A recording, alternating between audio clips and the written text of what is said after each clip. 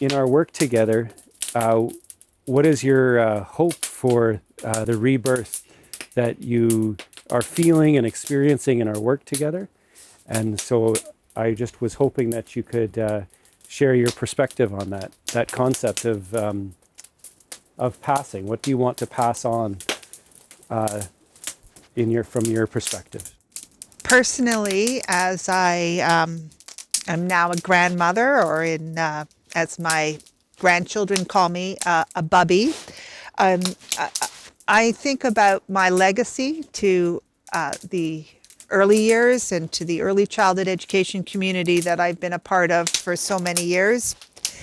And um, I think uh, that we get, we sometimes arrive at a time when we're, when we've been doing something for, for decades that we think we know everything that but we don't know what we don't know and um, i did not really truly understand what it meant to consider culturally appropriate early childhood education for Indigenous and non Indigenous young children.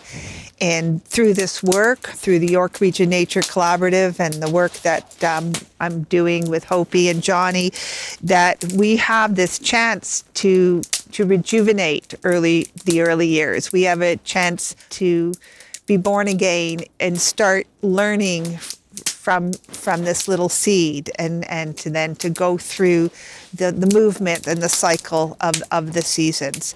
So um, the land gives us that. The land is is what nurtures this this rebirth. And I think when children come to this, this is our Bush Early Years Center that we've uh, worked together with uh, the Conservation Authority at Lake St. George to create for children and um, for Indigenous and non-Indigenous children and early childhood educators to walk together on this land, to learn together, to have fun, as Johnny says, you know, to have fun, to play, um, but to play in a, in a respectful, reciprocal way. And um, to me, I feel like, you know, I've been born again in um, the possibilities for and the potential for my own learning. And in what I do is I try to bring that learning to others. And um, I think there's great potential that early childhood educators are are at a very pivotal position to be able to do this work because the early years are so fundamental and um, and and I think that it, it is something that will rejuvenate um, and uh, give us that feeling of rebirth, like a witch.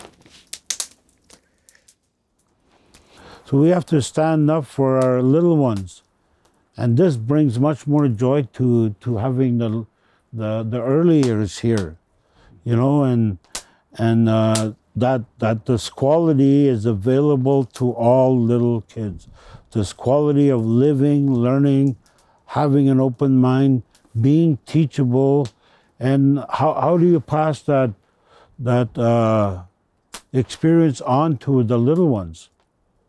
You know, and uh, sometimes it's just watching them play and reminding them that don't hurt yourself or don't go over there, don't go too far, and having fun. You know, like the stuff like that, right? Having a good time with our kids and. Uh, you know, so I had to learn how to be a parent, a healthy, loving parent. And I've been going to ceremonies for over 30 years, and and uh, since I turned my life around, and uh, it's done wonders for me.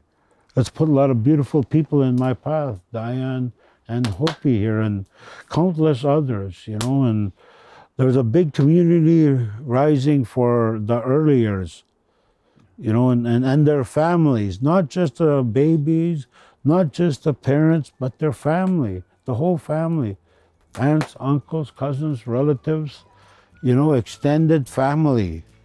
We have a lot of extended family doing this work. So, miigwech.